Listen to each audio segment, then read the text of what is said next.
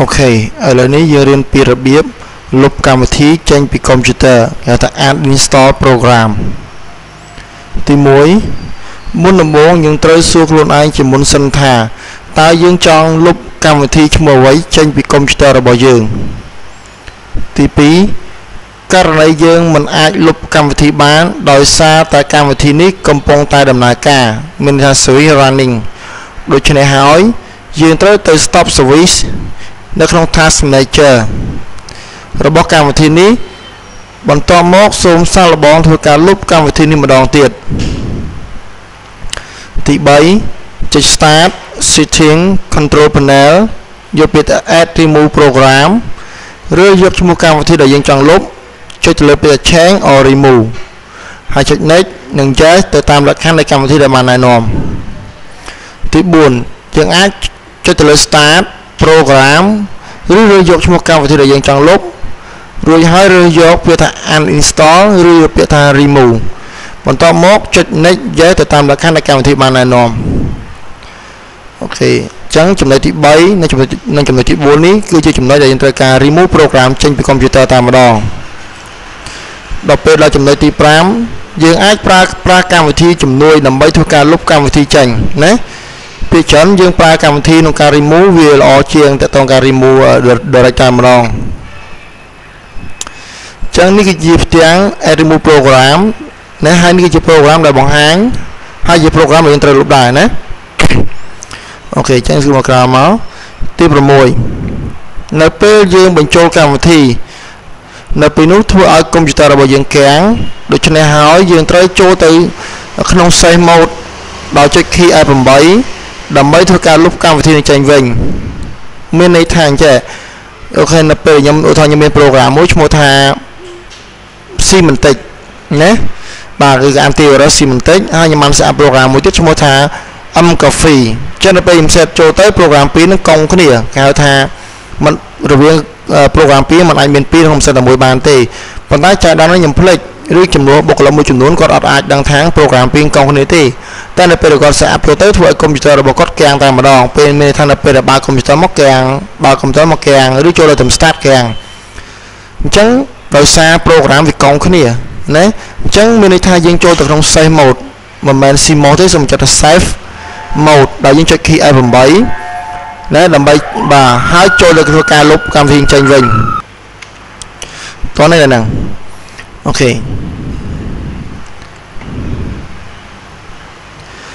ចឹងឥឡូវនេះខ្ញុំចាប់ដើមបើក Windows ក្នុង VMware គេចុចទៅលើ Start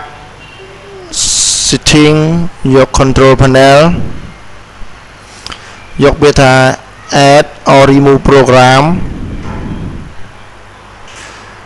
អូខេចឹងនៅត្រង់កន្លែង control panel ខាងក្រោយខ្ញុំអាចលុបចោលបានណា delete ចោលទៅខ្ញុំទុកតែផ្ទាំង add remove program ចឹងនៅក្នុងនេះវាបង្ហាញឈ្មោះ program ដែលយើងចង់ធ្វើការ change ចង់ធ្វើការ remove ចេញយល់ទេដូចជាមាន program Adobe Photoshop ណា Osmo Utility Pack Camtasia CCN A Net Visualizer version 6យល់ទេហ្នឹង OK ឥឡូវនេះខ្ញុំចង់ set up remove program មួយឈ្មោះថា Outlook LAN Messenger ឡើងចុចទៅលើ start program នៅក្នុងនេះមានពាក្យថា អូខេ Outlook LAN Messenger យើងអាចចុចទៅលើប៊ូតុង uninstall នេះក៏បានដែរណាអូខេឥឡូវនេះគឺខ្ញុំចុចទៅលើពាក្យថា Outlook Messenger ហើយយកពាក្យថា remove ទីយកហើយវាមកពាក្យថា uninstall អូខេចុច next ហើយជិះទៅចុចលើ uninstall finish ឡើងយកទៅលើ start program ចឹងឥឡូវនេះវាបាត់នៃកម្មវិធី iLog Messenger ហើយអូខេឡើងតាក់ទងទៅនឹងអូខេ program មួយទៀតឈ្មោះថា My USB Only ណា អូខេខ្ញុំរកមកពាក្យថា My USB Only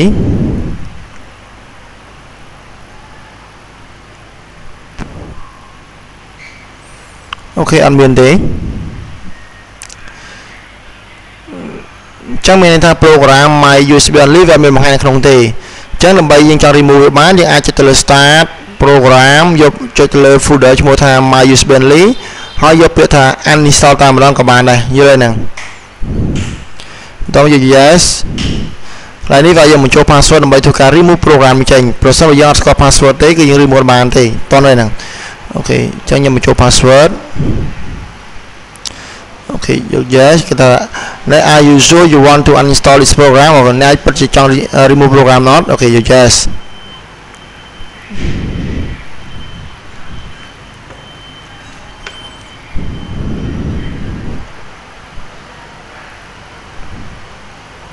ចូលឲ្យរងចាំតិចវាកំពុងតែធ្វើការ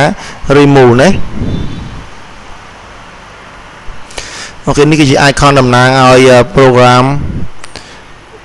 my USB only អូខេខ្ញុំចុចទៅលើ remove program ណាខ្ញុំ remove program ផ្សេងទៀតដូចជា program Teleport Pro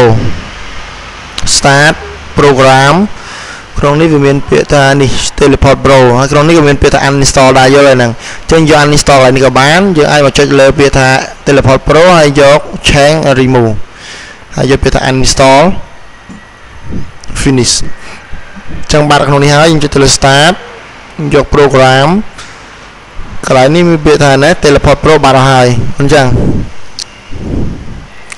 ដូចយើងឃើញ remove ទៀត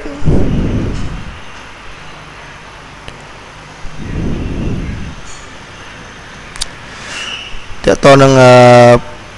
admin pack new scenery of 2003 2007ខ្មែរ Unicode អូខេឥឡូវខ្ញុំ remove program មួយឈ្មោះថា Net Visualizer CCNP version 4ណាពាក្យទៅលើ start program កន្លែងមានពាក្យថា Net Net Visual 4 CCNP នេះវាមានពាក្យថា uninstall អូខេអញ្ចឹងឥឡូវនេះយើងចុចលើក៏បានយក change and remove យក yes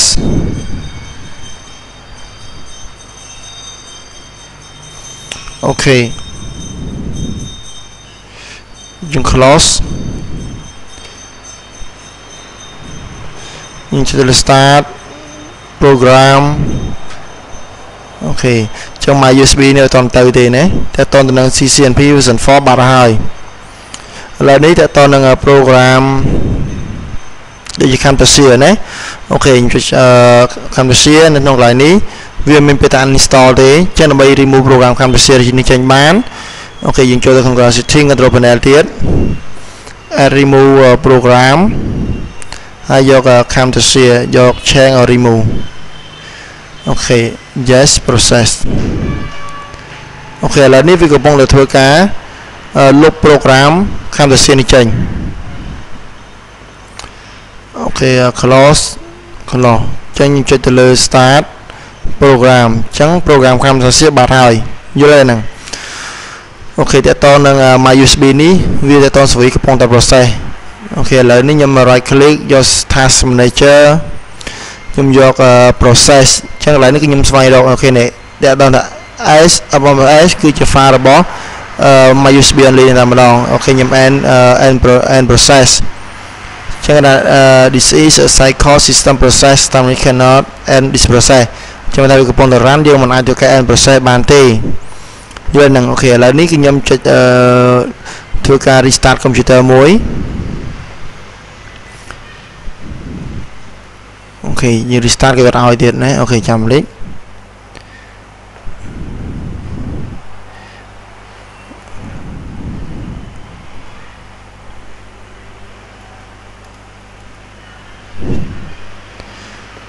OK start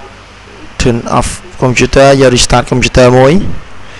OK ដើម្បីឲ្យប្រព័ន្ធ system ដើរស្រួលវិញសិនចឹងយើងរងចាំតិចទៅណា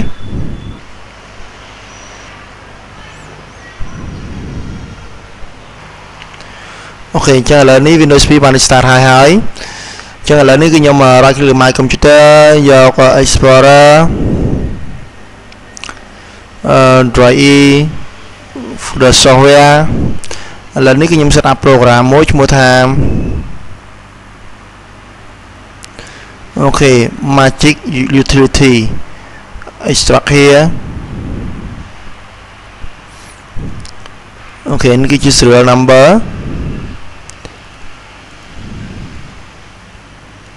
ហើយនេះគឺ file setup next accept next next next next រហូតណាអូខេ next install finish ចឹងបើយើងបញ្ចូលជា serial OK អឺឈ្មោះនេះខ្ញុំចេះដាក់ទៅណាអូខេទៅឲ្យទៅអត់អូខេចឹងខ្ញុំបើក program ហ្នឹងក៏ដាក់មកជា utility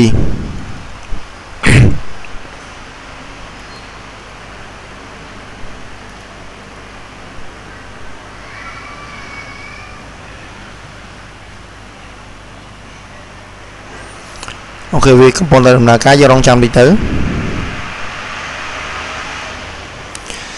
ចឹង program Magic Utility នេះ program នេះវាមានតួនាទីក្នុងការបិទ process តើតើនឹងការ remove ឬ uninstall program មកដូចគ្នាដែរណាអូខេអញ្ចឹងតើតើកន្លែងនេះខ្ញុំចង់ remove program មួយឈ្មោះថាអូខេ Adobe Photoshop ខ្ញុំចុចទៅលើ start យក program ណា program ក្នុងនេះមានពាក្យថា Adobe Imagery Adobe Photoshop យកហ្នឹងអញ្ចឹងខ្ញុំចុចទៅលើពាក្យថា Adobe Photoshop ហើយខ្ញុំយកពាក្យថា uninstall ណាបាទឬមួយយើងចុចទៅលើពាក្យថា uninstall ហើយនេះក៏បានដែរសេចចិត្តយល់លើហ្នឹងអូខេចុចទៅលើ Adobe Photoshop ហើយយក uninstall អូខេអញ្ចឹងពេលនេះវានឹងធ្វើការ remove នៃ program Adobe Photoshop next វាមាន repair និង remove អញ្ចឹងករណីវាចេញពី repair មានតែករណីប្រសិនបើ Photoshop យើងមានបញ្ហា error file ណាមួយនឹងវានឹងជួសជុលបើតើយើងយក repair remove នេះវិញមានន័យថាវាធ្វើការលុបអឺកម្មវិធី Adobe Photoshop ចេញពី computer របស់យើងតែម្ដងអញ្ចឹងយក remove next OK remove next OK ណាចានេះ data transfer ឬក៏ keep command OK OK យក advance អញ្ចឹងទៅ next remove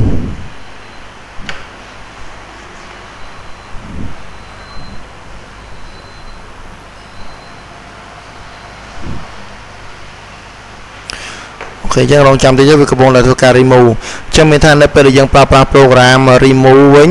វាមានន័យថាវាត្រឡប់ក្នុង registry មានថាវាលុបស្អាតតែម្ដងហើយវាលុបស្អាតជាងការលុបនៅក្នុង control panel ឬមួយយើងលុបតាមរយៈ program របស់វា ចឹងនេះវាទៅ clear ក្នុង program file ឲ្យស្អាតតែម្ដងក្នុង registry ក៏វា clear ចោលដែរណា OK នេះតើតើការ catch ដល់ restore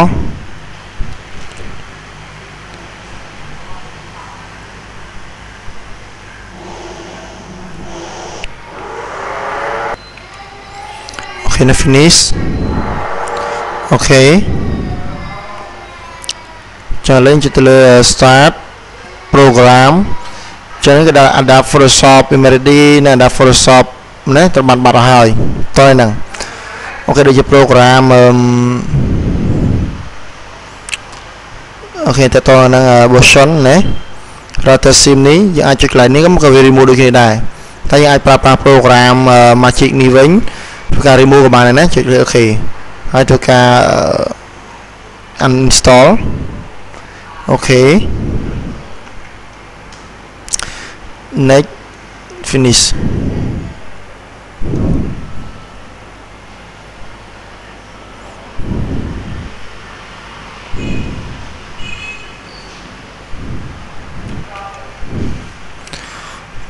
OK អញ្ចឹងចប់ហើយ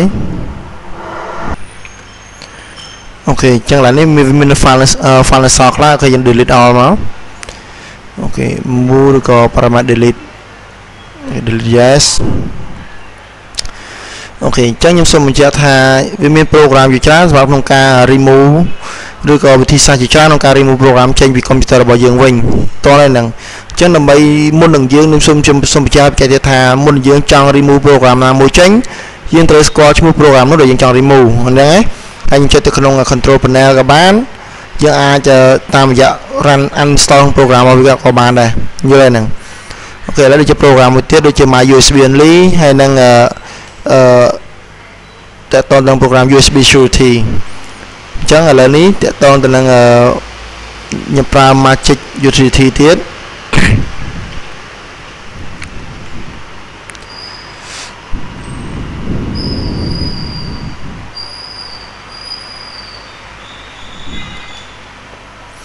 អូខេរងចាំតិចទៅ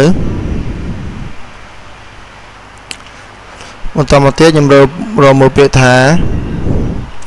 my USB only OK នេះ my USB only វាដាក់ខ្វែងអញ្ចឹងវាដាក់ខ្វែងមានន័យថា program ហ្នឹងវាកំពុងតែតែ process មែនទេអញ្ចឹងឡើយនេះ OK ឥឡូវខ្ញុំចូល install OK អញ្ចឹងគេដាក់ cannot uninstall the select program មែនទេឥឡូវចុចលើ program ហ្នឹងមួយខ្ញុំយក kill process អញ្ចឹង kill process ខ្ញុំបិទ process វាចោលនេះឈ្មោះវាគឺដំណើរ icon តោះនេះហើយហ្នឹងOK គេដាក់ថា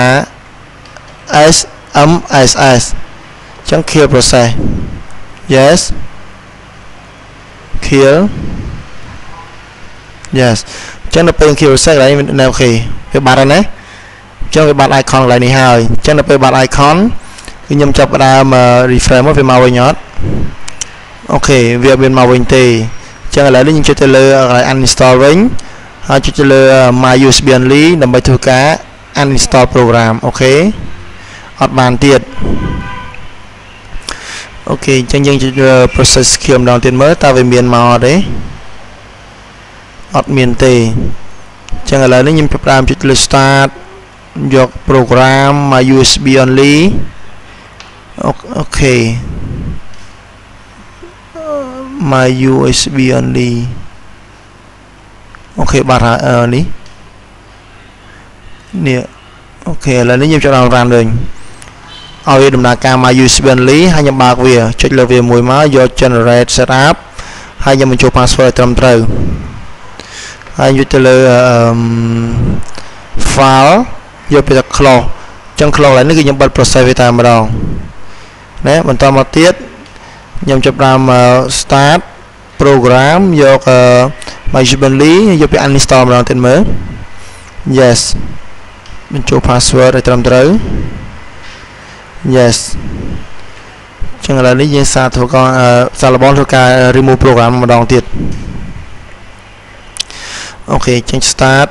program មក USB only បាត់ហើយចឹងនៅសល់តែ USB security ណាអូខេឥឡូវនេះខ្ញុំចង់ uninstall យកពាក្យថា USB security ហើយយក uninstall អូខេចឹងគេដាក់ USB security each quick eval quick អត់អត់ដល់ទេអូខេជាមួយនេះអូខេបាត់ហើយអូខេអូខេ delete yes close start program ចឹងមក USB បានបាត់ដែរណាបាទដូចជាអូខេ folder ខ្មែរ dictionary អញ្ចឹងខ្ញុំ remove ខ្មែរ dictionary ចោលចុចលើពេលថា remove new ខ្មែរ dictionary ចឹងតែមានមាន OK yes OK បាត់ពី icon ទៀតណាតនេះហ្នឹងអូខេចឹងឥឡូវនេះតកតងទៅនឹងមេរៀនដែលយើងធ្វើការ remove program ចេញពីកុំព្យូទ័រត្រូវបានបញ្ចប់នៅលើ normal window អញ្ចឹងឥឡូវនេះគឺខ្ញុំបង្ហាញតកតងទៅនឹង save mode វិញម្ដងដែលខ្ញុំ restart computer ហើយខ្ញុំចុច key F8 ដើម្បីចូល save mode ធ្វើការ remove ចឹងនៅពេល start computer យើងត្រៀមចុច key F8 នៅពេលបើក computer មកដំបូងណាបាទចឹង key F8 ដើម្បីនាំឲ្យយើងចូលទៅកាន់ save mode នេះចឹងអ្វីទៅតម្រងដែលយើងកំពុងឃើញគេថា save mode យល់ហ្នឹង save mode menu ចឹងជាភាគច្រើនក្នុងការដែលកម្ចាត់មេរោគគឺយកយក save mode វាខមមិនព្រមតែឥឡូវនេះយើងយក save mode នេះក៏បានដែរតែតោះការ remove program តោះនេះហ្នឹងតើយើងយក save mode វាខមមិនព្រមល្អជាងអូខេអញ្ចឹងខ្ញុំយក save mode វាខមមិនព្រម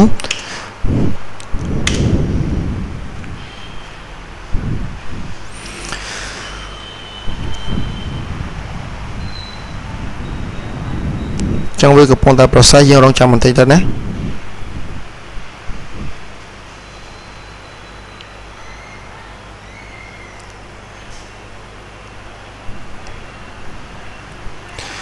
អូខេអញ្ចឹងកន្លែងនេះយើងបើសិន process មកយើងរើសយើងរើស set user ជា administrator ប៉ុន្តែ user នេះដែរ set ជា main ដែរណាចឹងខ្ញុំយកនេះដែរទៅបន្តមកទៀតយើងមានតែផ្ទាំងដោះមួយទេមិនចឹងអត់ចឹងដើម្បីឲ្យមានចុច start ឬក៏ explorer ឡើងមកចឹងកន្លែងនេះយើងវាយ command មួយឈ្មោះថា explorer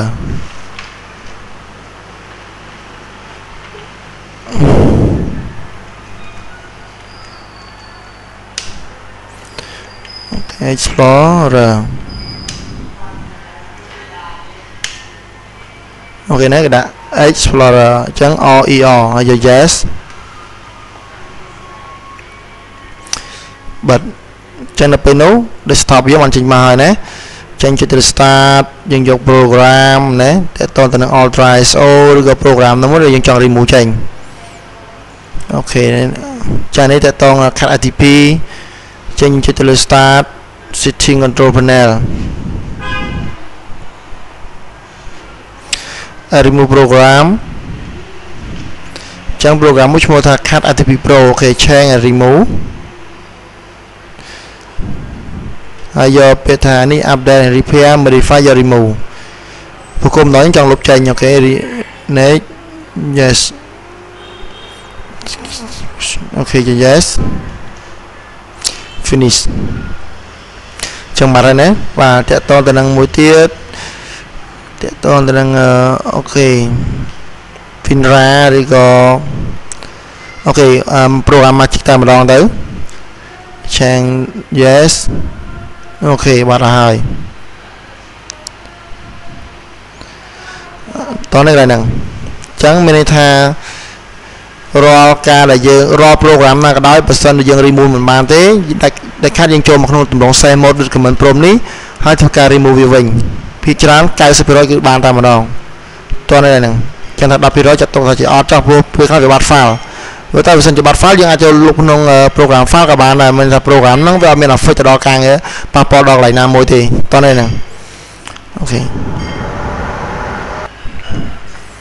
អូខេចឹងឥឡូវ Windows XP បានដំណើរការ normal ធម្មតាហើយអូខេចឹងអានេះជា shortcut ដែលយើងអត់ប្រើទេយើង delete ចោលទៅ អូខេចឹង right click rank by by Thai អូខេ right click cycle bin empty yes ចឹងចុចលើ start program ចឹងអ្វីដែលយើងកំពុងឃើញនេះគឺ program នៅសល់ចឹង program ទាំងប្រហែលយើងបាន remove ចោលហើយណាអូខេចឹងឥឡូវនេះតើតើនឹងមេរៀនក្នុងការលុប program ចេញពីកុំព្យូទ័របានបញ្ចប់